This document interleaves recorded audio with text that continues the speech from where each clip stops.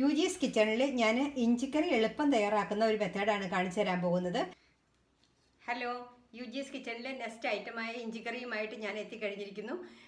എന്റെ വീഡിയോ ആദ്യമായിട്ട് കാണുന്നവരാണെങ്കിൽ ഒന്ന് സബ്സ്ക്രൈബ് ചെയ്ത് ബെല്ലൈക്കണും കൂടി ക്ലിക്ക് ചെയ്യുക. അപ്പോൾ എന്റെ നെക്സ്റ്റ് വീഡിയോയുടെ നോട്ടിഫിക്കേഷൻ കിട്ടും. അപ്പോൾ ഇഞ്ചിക്കറി ഉണ്ടാക്കാൻ വളരെ എളുപ്പമാണ്. അത് ഒരു പുതിയ മെത്തേഡിലാണ് ഞാൻ തയ്യാറാക്കുന്നത്. പൊതുവേ നമുക്ക് ഇഞ്ചിക്കറി ഉണ്ടാക്കാനായിട്ട് കുറേ സമയമെടുക്കും. ഇഞ്ചി വറുത്തൊക്കെ എടുക്കാനായിട്ട്. അപ്പോൾ വീഡിയോ അവസാനം വരെ നിങ്ങൾ കണ്ടു നോക്കുക. വളരെ ഈസി ആയ ഒരു മെത്തേഡാണ് അപ്പോൾ വീഡിയോയിലേക്ക് കിടക്കാം. എങ്ങനെയാണ് തയ്യാറാക്കുന്നതെന്ന് നമുക്ക് നോക്കാം.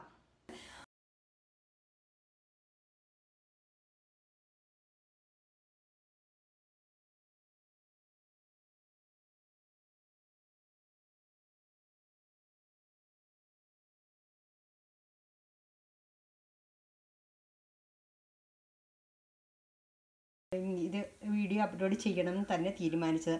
അപ്പോൾ ഞാൻ ഈ ഇഞ്ചിക്കറി ഉണ്ടാക്കുന്ന മെത്തേഡ് എവിടെയും കണ്ടിട്ടുള്ളതല്ല. എന്റെ സ്വയം ചിന്തയിൽ നിന്ന് ഞാൻ എടുത്തതാണ്. അപ്പോൾ നിങ്ങൾ ഒന്ന് കണ്ടു നോക്കുക. ഇത് നല്ല ഫ്രഷ് ഇഞ്ചിയാണ്. ഇത് എന്തിനാണ് ഞാൻ ഇത്ര ഇഞ്ചി ഒന്നിച്ച് വാങ്ങിച്ചതെന്നല്ലേ? ഒരു കിലോ ഇഞ്ചിയുണ്ട്.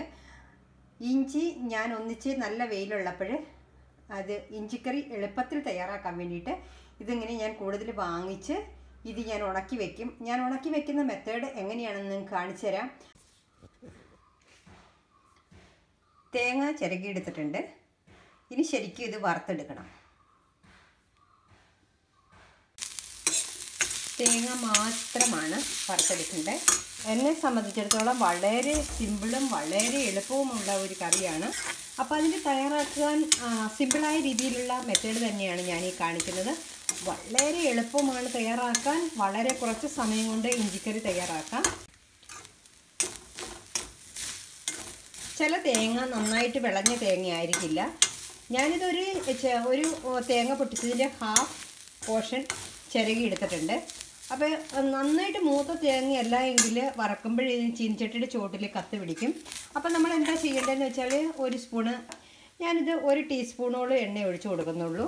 അപ്പോൾ ഈ എണ്ണയിൽ നമ്മുടെ ചീനിച്ചട്ടിയുടെ ചോട്ടിൽ പിടിക്കാതിരിക്കും. പ്രത്യേകിച്ച് നമ്മൾ തേങ്ങ വറക്കുമ്പോൾ വളരെ കട്ടിയുള്ള ചീനിച്ചട്ടിയിൽ വറക്കാൻ ശ്രമിക്കുക. ബ്രൗൺ ആയിട്ട് കിട്ടണം. തേങ്ങ നല്ല മുരിഞ്ഞ് വരണം. അപ്പോഴേ ഇഞ്ചിക്കറിക്ക് നല്ല കളർ കിട്ടുകയുള്ളൂ. നല്ല ശർക്കര ഡീപ്പ് കളർ ഡാർക്ക് കളറിലെ ശർക്കരയുടെ കളറിലായിരിക്കണം നമുക്ക് ഇഞ്ചിക്കറി തയ്യാറാക്കേണ്ടത്. ഈ- ഈ സ്റ്റേജിൽ എത്തുമ്പോഴത്തേനും നമ്മൾ ഗ്യാസ് ഓഫ് ചെയ്യണം ചീനിച്ചട്ടിക്ക് ഭയങ്കര ഹീറ്റാണ്. ആ ഹീറ്റിൽ ഇരുന്നുകൊണ്ട് നന്നായി തേങ്ങ ബാക്കിയുള്ളത് റെഡി ആയിക്കോളും അപ്പോൾ ഇഞ്ചിക്കറിക്കുള്ള തേങ്ങ വറുത്ത് റെഡി ആയിട്ടുണ്ട്. അപ്പം നിങ്ങൾ ചോദിക്കാം ഈ ഇഞ്ചി എവിടെയാണെന്ന്? അപ്പോൾ നമുക്കിനി ഇഞ്ചി ഇതിലേക്ക് ഇട്ട് കൊടുക്കാം. ഒരു ഒന്നര ഇത് അത്ര ചെറിയ സ്പൂണൊന്നുമല്ല. ഇത് ഞാൻ കറി ഇളക്കണ സ്പൂണാണ്. ഇതിന് ഒന്നര സ്പൂൺ ഇട്ട് കൊടുത്താൽ മതി. അപ്പോൾ ഇതാണ് നമ്മുടെ ഇഞ്ചി ഞാൻ ഇട്ട് കൊടുക്കുന്ന ഇഞ്ചി. അപ്പോൾ നിങ്ങൾക്ക് തോന്നാം ഇത് ചുക്കല്ലേ എന്ന്. ഇത് ചുക്കൊന്നുമല്ല. എളുപ്പത്തിന് ഇഞ്ചിക്കറി ഉണ്ടാക്കാൻ തയ്യാറാക്കി വെച്ചിരിക്കുന്നതാണ്. ഇത്രയും ഇഞ്ചി ധാരാളം മതി ഇഞ്ചിക്കറിക്ക്. അപ്പോൾ ഇതിന് നന്നായിട്ടൊന്ന് ഫ്രൈ ചെയ്യണം. അപ്പോൾ ഞാൻ സെന്ററിൽ നിന്ന് തേങ്ങ എല്ലാം മാറ്റി വെച്ചിട്ട് സെന്ററിലാണ് ഇഞ്ചി ഇട്ടിരിക്കുന്നത്. അപ്പോൾ ഇതിലേക്ക് ഒരു അര സ്പൂൺ എണ്ണ ഞാൻ ഒഴിച്ചു കൊടുക്കുകയാണ് അപ്പം നമുക്ക് ഇതിലേക്ക് തേങ്ങ ഒരു വേറൊരു പാത്രത്തിലേക്ക് മാറ്റിയിട്ട് ഇത് സെപ്പറേറ്റ് വറക്കാം. അല്ലെങ്കിൽ ഇതേ മെത്തേഡിൽ എളുപ്പത്തിൽ ഇങ്ങനെ ചെയ്യാം. അപ്പം ഞാനിതങ്ങ് ചെയ്ത് ചെയ്ത് എനിക്ക് നല്ല ശീലമായതുകൊണ്ട് എനിക്കിതിങ്ങനെ ചെയ്താലും മതി. ഞാനൊരു അര സ്പൂണിൽ കൂടുതലായിട്ട് എണ്ണ ഒഴിച്ചു കൊടുത്തിട്ടുണ്ട്. അപ്പോൾ ഇത് സെന്ററിൽ ഇട്ട് അങ്ങ് മൂപ്പിച്ചെടുത്താൽ മാത്രം മതി. അത് കഴിഞ്ഞ് തേങ്ങയായിട്ട് മിക്സ് ചെയ്യാം. നോക്ക് ഹാഫ് മിനിറ്റ് പോലും എടുത്തില്ല. ഇഞ്ചിയുടെ കളർ മാറിക്കഴിഞ്ഞു. നന്നായിട്ട് മുരിഞ്ഞിട്ടുണ്ട്. ഇനി തേങ്ങയുമായിട്ട് നമുക്കൊന്ന് കൂട്ടിച്ചേർത്ത് നല്ലതുപോലെ ഒന്ന് ഫ്രൈ ചെയ്താൽ മാത്രം മതി. തേങ്ങയുമായിട്ട് കൂട്ടിച്ചേർത്ത് നന്നായിട്ട് ഒന്ന് മൂപ്പിച്ചെടുത്താൽ മതി. ഞാൻ ഉണക്കിയെടുത്ത ഇഞ്ചിയാണിത്. ഇത് ശരിക്കും ഇഞ്ചിക്കറി ഉണ്ടാക്കുക എന്നുള്ള പർപ്പസ് ആണ് എന്റെ മെയിൻ ഉദ്ദേശം.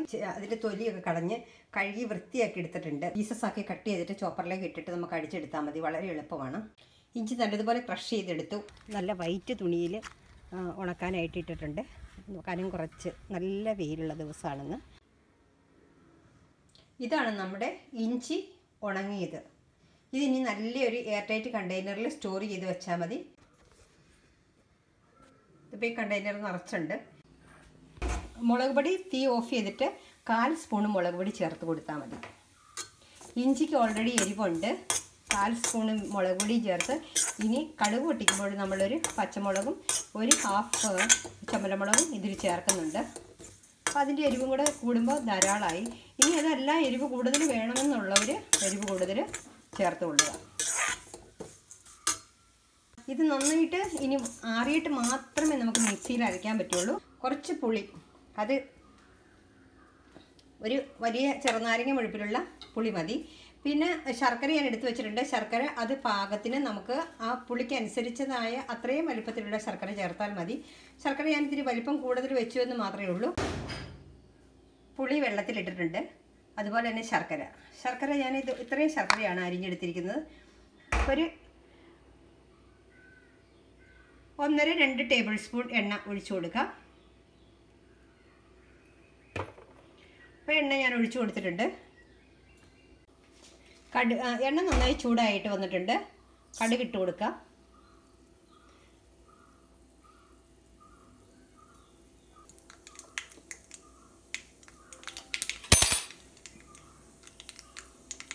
ഒരു വലിയ വറ്റൽമുളക് നുറുക്കിയതുണ്ട്. ഉള്ളി കട്ട് ചെയ്തത് ഇട്ട് കൊടുത്തു.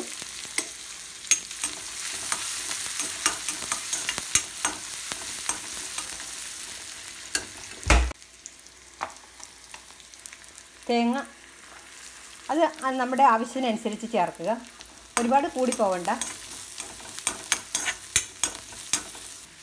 കറിവേപ്പില ചേർത്ത് കൊടുക്കാം. നമ്മുടെ വറവിൽ പാക പാകത്തിനായിട്ടുണ്ട്. അത് ഞാനൊന്ന് ഗ്രൈൻഡ് ചെയ്തായിരുന്നു. അത് കഴിഞ്ഞ് അതങ്ങ് പൊടിച്ചതിന് ശേഷം കുറച്ച് വെള്ളം ഒഴിച്ചു. ഇനി ചെയ്യേണ്ടത് ഈ അരപ്പ് നമുക്ക് അത് സെയിം പാനിലേക്ക് തന്നെ ഇട്ട് കൊടുത്തിട്ടുണ്ട്. ഇത് ഈ അരപ്പ് ശരിക്കും ചീനിച്ചട്ടിയിലിട്ട് വെള്ളം വറ്റിക്കണം. വെള്ളം മിക്സ് കഴുകിയൊന്നും വെള്ളം ഒഴിക്കരുത്.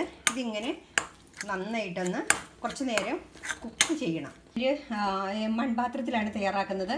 മൺപാത്രം ചൂടായി വരുന്നുണ്ട്. ഇത് പുളിവെള്ളമാണ്. ഈ പുളിവെള്ളം ഇത് നിങ്ങൾക്ക് കാണാൻ പറ്റും. എന്റെ അരപ്പ് കണ്ടോ? നല്ല കളറിൽ കിട്ടിയിട്ടുണ്ട്. ഇതാണ് നമുക്ക് ശരിക്കും പറഞ്ഞാൽ വെള്ളം ചേർക്കാതെ അരകല്ലിൽ അരച്ച അതേ കളറ്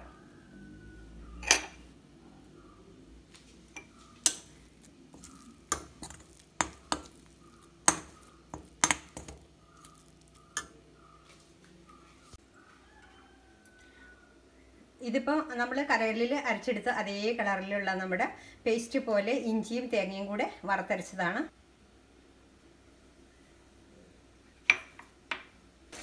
നന്നായി തിളച്ച് പുളിവെള്ളം ഒരുപാട് വെള്ളം ഓവർ ആക്കരുത്.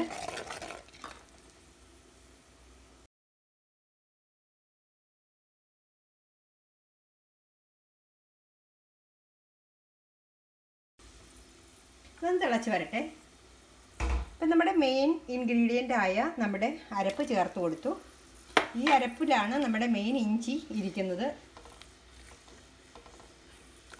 ഇനിയിപ്പോൾ ഈ ചട്ടി കുറച്ച് വെള്ളം അങ്ങ് അബ്സോർബ് ചെയ്യും. പിന്നെ നമ്മുടെ അരപ്പ് ശരിക്കും പറഞ്ഞാൽ ഇഞ്ചി ഞാൻ പച്ച ഇഞ്ചി അല്ലല്ലോ ചേർത്തത്. അപ്പോൾ ആ ഇഞ്ചിയുടെ കുറുകലും കൂടി ആകുമ്പോഴത്തേനും നല്ല പോലെ നമുക്ക് അര സ്പൂണ് ഉപ്പ് ചേർത്ത് കൊടുത്തു. റോക്ക് സാൾട്ടാണ് ഇട്ട് കൊടുത്തത്. വൈറ്റ് വൈറ്റ് ഉപ്പല്ല. പുളി ശർക്കരയൊക്കെ ചേർത്ത് ഉണ്ടാക്കുമ്പോൾ കേരളത്തിലൊക്കെ നമുക്ക് പറ്റും മഞ്ചട്ടിയിൽ ഉണ്ടാക്കാനായിട്ട് ശ്രമിക്കുക. അപ്പോൾ ഈ തണുപ്പ് ശരിക്കും പറഞ്ഞാൽ നമ്മുടെ നോർത്ത് ഇന്ത്യയിലും ഒക്കെ നമുക്ക് മഞ്ഞിട്ട് യൂസ് ചെയ്യാൻ എളുപ്പമാണ്. അങ്ങനെ പെട്ടെന്ന് പൂപ്പൽ പിടിക്കുകയൊന്നുമില്ല പക്ഷേ കേരളത്തിലെ കാലാവസ്ഥ അനുസരിച്ച് ഇടയ്ക്കിടയ്ക്ക് നമ്മൾ തേച്ച് കഴുകി വെയിലത്ത് വെച്ച് അതിന്റെ പൂപ്പൽ മാറ്റി വയ്ക്കണം വെള്ളമൊക്കെ പാകത്തിനായിട്ടുണ്ട്. ഇതിലോട്ട് ഇനി ചേർത്ത് കൊടുക്കേണ്ടത് നമ്മുടെ വറവലാണ്.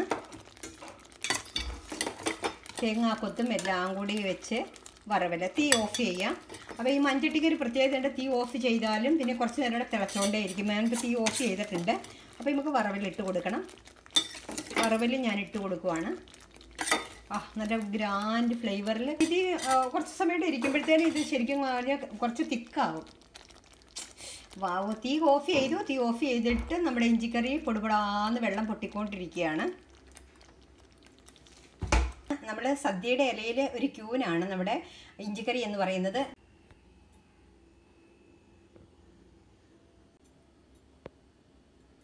നമ്മുടെ ഇഞ്ചിക്കറി വളരെ ടേസ്റ്റി ആയിട്ടുള്ള ഇഞ്ചിക്കറി റെഡിയായി ഇപ്പം നിങ്ങൾ നോക്ക് പാകത്തിനുള്ള വെള്ളമൊക്കെയാണ്. അപ്പം ഞാൻ ഞാൻ പറഞ്ഞെടുത്തോളം വെള്ളം നിങ്ങൾ ഒഴിച്ചാൽ മതി. അപ്പം അത് പെർഫെക്റ്റ് ആയിരിക്കും. അപ്പം നമുക്കൊരു വലിയ ഏകദേശം ഒരു മീഡിയം ടൈപ്പിലുള്ള ബോളിലാണ് ഇപ്പോൾ ഇഞ്ചിക്കറി ഇരിക്കുന്നത്. അപ്പോൾ ഇത് കുറച്ച് നമുക്കൊരു മൂന്നാൽ ദിവസത്തിനുള്ള ഇഞ്ചിക്കറി ഉണ്ട്. നിങ്ങൾ തയ്യാറാക്കി നോക്കുക. ഫീഡ്ബാക്ക് എന്നെ അറിയിക്കുക. വളരെ ഈസിയും വളരെ സിമ്പിളും വേയിലാണ് തയ്യാറാക്കിയിരിക്കുന്നത്. അപ്പോൾ ഇടയ്ക്കിടയ്ക്ക് ഇഞ്ചിക്കറി ഉണ്ടാക്കണമെന്ന് തോന്നുമ്പോൾ നമുക്ക് ഉണ്ടാക്കാനുള്ള ഒരു ടെക്നിക്കാണ് അപ്പോൾ വീഡിയോ മുഴുവനും കാണുക.